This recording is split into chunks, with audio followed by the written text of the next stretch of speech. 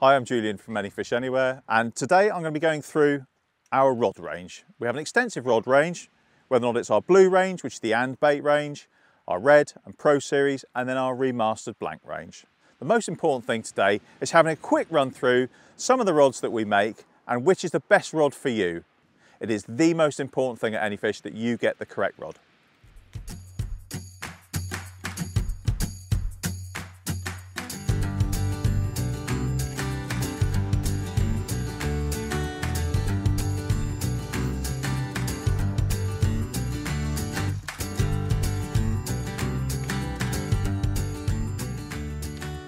So with Anyfish, the most important thing is about finding a rod that is suitable for you.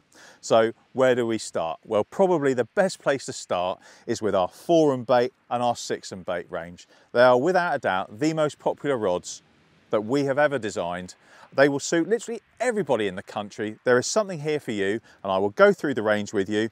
There are two rods in the four and bait range, both a multiplier and a fixed spool in both 13 and 14 feet. And in the six and baits, we do a 13, a 14 and a 15. We do those in fixed spool and multiplier as well. I would say that the most popular question that is asked by either the guy behind the counter or the guy in front of the counter is this. What rod do you want to use? What are you looking to do? Well, I'm looking to cast either six ounces and bait on such and such a venue or four ounces and bait on such and such a venue. With that in mind, that's why we name the rods the way we have done, a four and bait and a six and bait. So we'll start with the four and baits. The four and baits are the lighter versions of the two ranges. Basically, what that means is it's four ounces and bait. They're an ideal surf rod, slightly heavier estuary rod, a light beach rod. You can obviously use four ounces and bait. It doesn't matter whether or not it's a bigger bait with a lighter lead or whether or not you're still using a flapping rig, for instance, with two or three hooks with worms. If you are a fixed spool angler, we have them in 13 and 14 feet. If you are a multiplier angler, 13 and 14 feet. They are not complete J-curved rods. They're slightly, what I would say, they've got that little bit more flexibility in them, okay? So you'll have a much more fun days fishing with these rods. It's not always about casting big lumps of bait out to sea. This is a fun rod, you'll enjoy using them, doesn't really matter what coastline you're on, you'll have great fun using these rods. They're not heavy ground rods, they're more of a lighter beach rod. So move on to the six and baits, probably the most popular rods in our range, of all of the rods that we make. Okay, so 13, 14 and 15. Each rod is different. The 13 foot model is a slightly steelier rod. The 14 foot got that little bit more give. It is probably the most popular rod of all of our rods that we make, whether or not it's fixed spool or multiplier. I would say the fixed spool rod is probably the most popular rod of the two Fixed spool anglers just seem to love that rod and we've been making it now for 13, nearly 14 years. So I think we're doing the right thing. Uh, we move on to the 15s. The 15 foot is probably the most popular rod we use, seem to sell in the northeast of England. Um, quite a lot of people use braid with them. The 15 foot multiplier is getting a little bit of a resurgence. It's um, not everybody's uh, choice of rod with a multiplier, but some people still love to use that longer rod. So why and which rod would you choose? Well, depending on the area that you're fishing and what you're doing, that would be determined on the length of the rod that you use. Okay, the 14 foot is probably the best all-round beach rod. The 13 foot is great on the rocks or where you need that, where you haven't got as much space behind you. A lot of the areas in the West Country um, where you're on some rock marks where the 13 foot rod is a lot better than a 14 foot just through space that you need. And a 15 foot seems to be quite popular in the northeast where they like it on the kelpie grounds where they can need to lift as well. You've got that little bit extra length. That just seems to be a little bit more of a popular rod. Um, the 15s are different from the 14s. They bend slightly differently. They're more of a C-curved rod. The 14 foots are more of a J to C-curve rod. However, all of the rods have got sliding reel seats. They're parallel butted. And remember, make sure that when you go in to go and get one of these, you make sure you buy a fixed spool or a multiplier for the type of fishing that you're doing. If you say you're using both a fixed spool and a multiplier, then the rod that you need to get is a multiplier rod, okay? If you're using both and you might want to be swapping between the two and you just want to buy one rod, make sure you buy the multiplier version and not the fixed spool. If it's just for fixed spool fishing, make sure you get the fixed spool rod. The ringing is really, really important.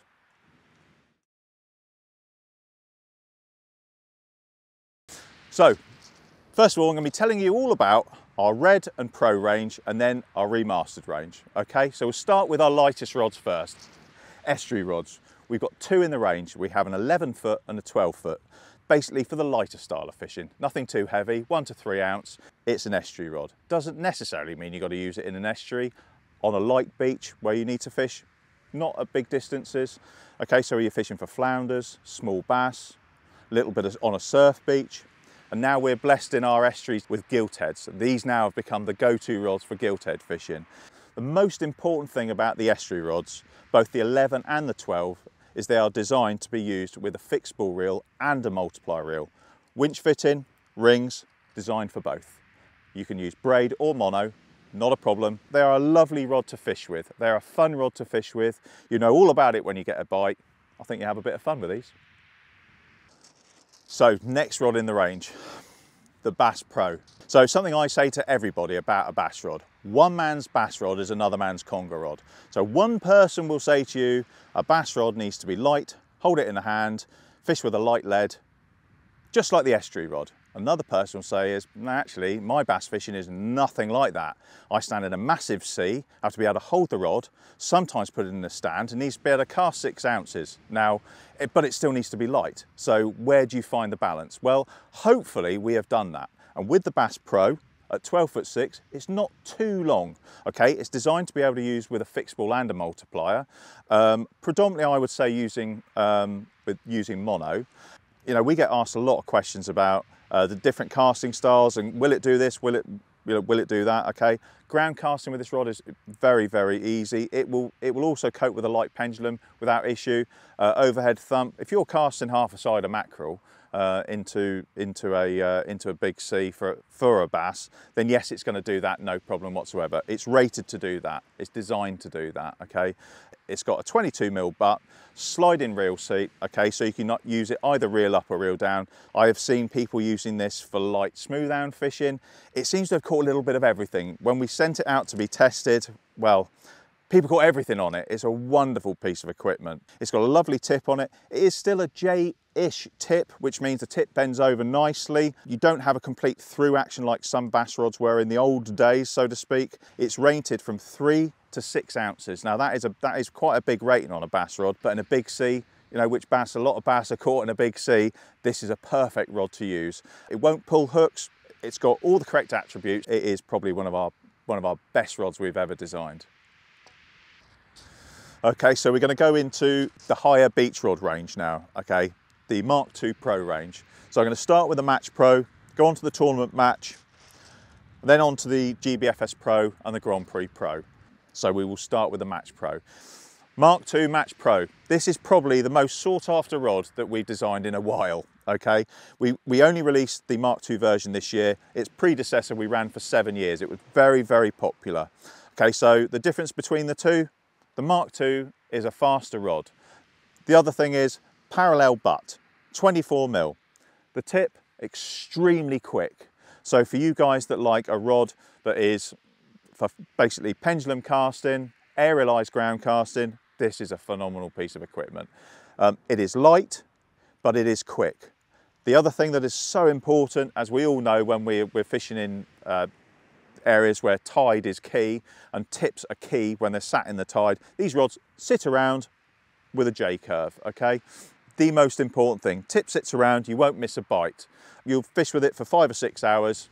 You come back after a day's fishing, you're not gonna ache after you've been using that. It will still cast a big bait or three clip baits. It will, it will do everything. It is really a fantastic rod. It's been built for multiplier, so you can use it in a reel up or reel down position, 13 foot seven, I'm a reel up caster. Um, I've not really been a, a reel down caster um, in all my fishing life and for 13 foot 7 it really really does suit me. I know quite a lot of my friends who fish with it reel down thoroughly enjoy using it because they might not want to use a tournament match pro which has got that little bit more power in it okay so fantastic bit of kit I've caught lots of different fish on these rods and never really had any problems whatsoever. If I needed to go up a rod and I'm on a bit of ground that needs it, then I'm obviously going to go up to another rod, but this really is a go-to rod for me.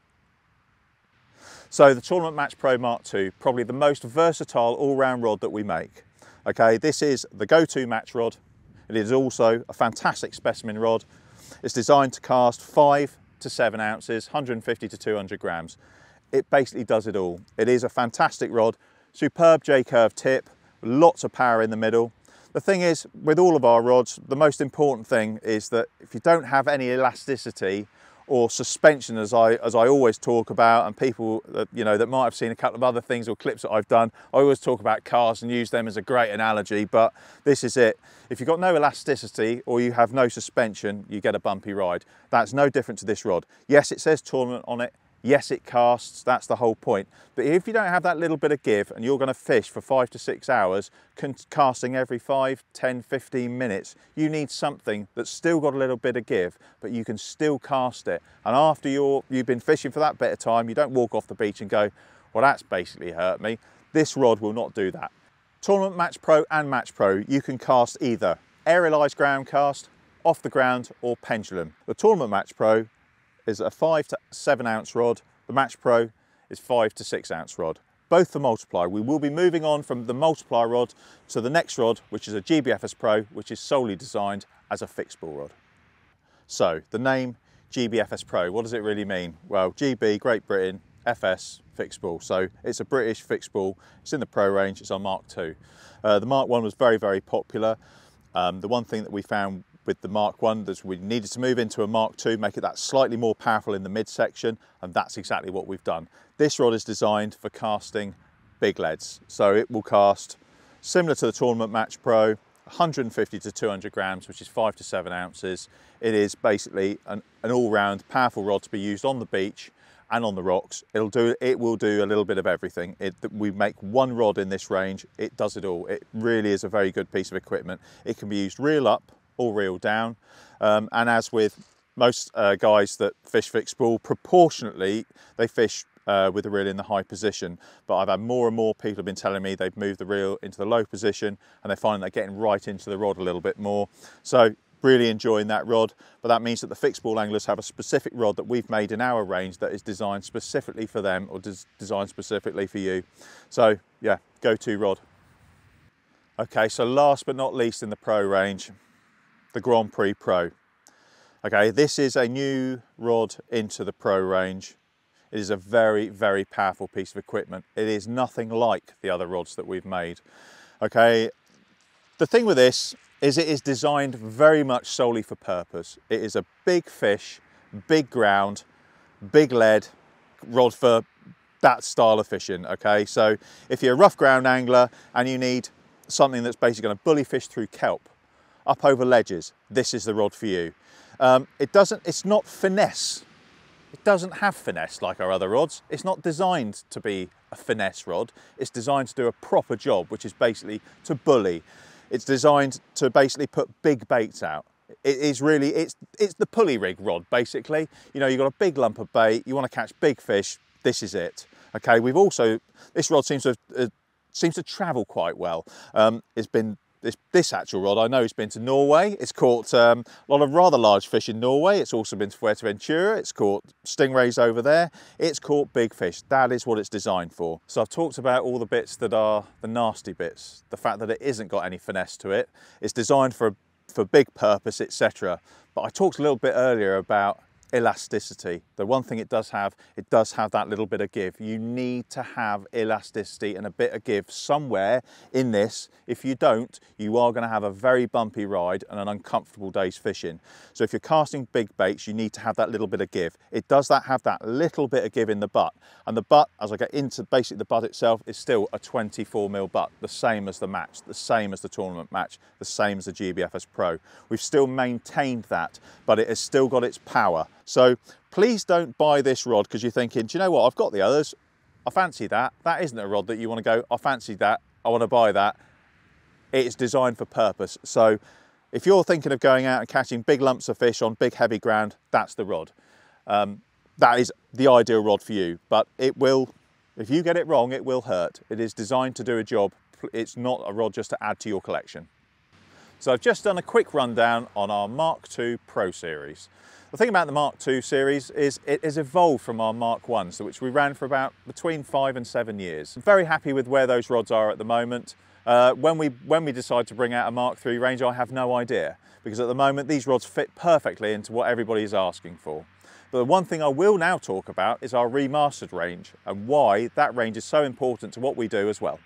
Okay, so the next set of rods or products in our range is the remastered blanks and we have four of them. We have a 13 foot four match, a 13-10 tournament match, the 14 foot big beach and a 14-2 tournament rock.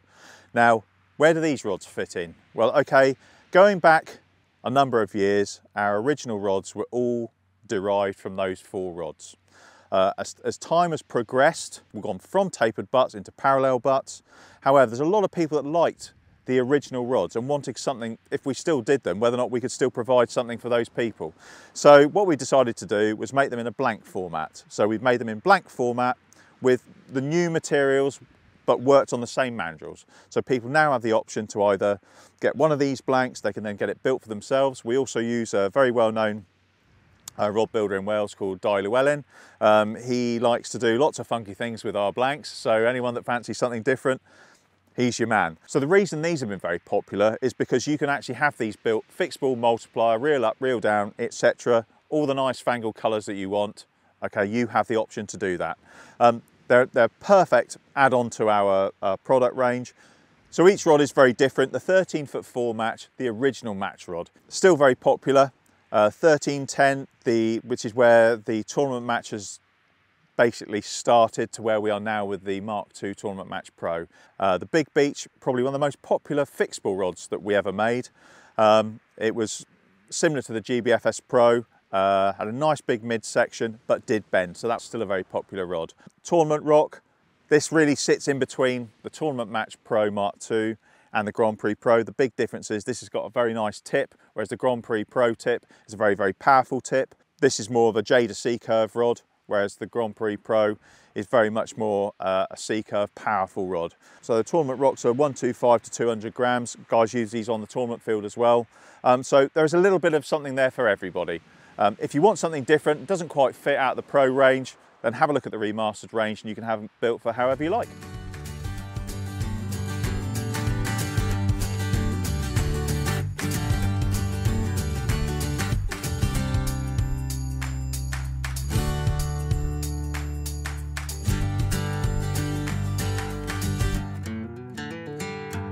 So hopefully I've given you a quick insight into the blue range, the, the four and baits and the six and baits, the Red Range, Pro Range and the Remasters. So if you're looking for one of our rods, hopefully there's something in there that you might like, or something you might be interested in, your next purchase. However, if you're not quite sure, we're pretty old fashioned in our approach. So if you want to pick the phone up and give us a call, please do so. If you're a Facebook user, please contact us via there. If not, we're also on Instagram. We also have a number of ambassadors on our website. Those guys are really, really approachable as well. We wouldn't have them involved with us if they weren't. So please get in touch with them as well. All of our contact details are in our video description below.